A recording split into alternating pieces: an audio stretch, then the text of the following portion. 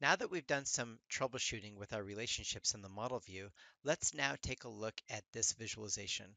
This visualization uses company name from a table called minimum order customers. See the company name is checked right there? If we click on this table, you'll see that this table is not actually coming from a data source like Excel or SQL Server. This table is a calculated table and it was created using DAX.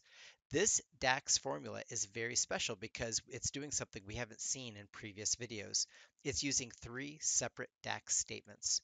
This first DAX statement is a variable. We declare the variable using var, we name the variable. I named it, I wrote minimum order count, and I assigned it a value using equal sign, and I assigned it 10. This second DAX statement uses the DAX filter function. It declares what are this first argument is what table should be filtered. It's the sales customers table. And how should it be filtered? Only give me customers that have a number of orders uh, greater than 10, right? Greater than minimum order count, which is the variable that I declared up here. Then return this new table. That's what filter does. Filter um, returns a full table and then we return it. Now notice, look at all these columns here. Where did all these columns come from? Well, if we go down and we look at our customers table, the columns are exactly the same. It's just that these customers have had at least 10 orders, and these customers are all my customers. They might not have even had an order at all.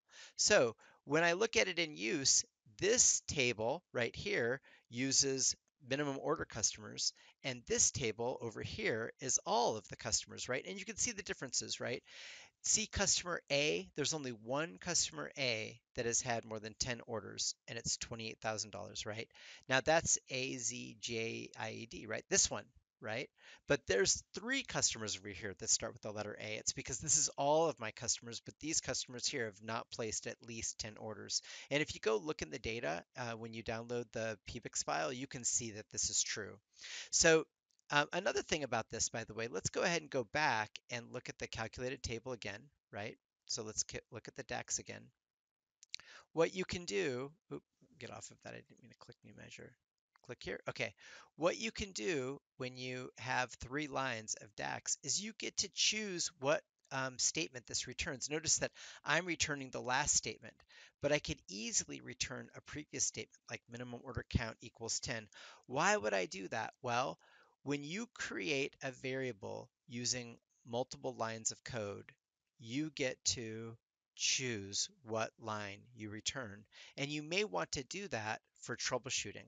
Let's say that you're doing complicated steps and you need to do 10 steps. You can do 10 separate lines here using this variable method. And then you can, you can return line 3, line 4, line 5 each line one at a time to determine where you went wrong on that complicated process. So you can see how you can use this method for troubleshooting and how it can be really useful. Thanks. And finally, this is how you can get a hold of me if you need to. There's my Twitter and my email address. And of course, my YouTube channel if you want to subscribe and get more videos on DAX and Power Apps and data engineering and cloud data and other things that interest me.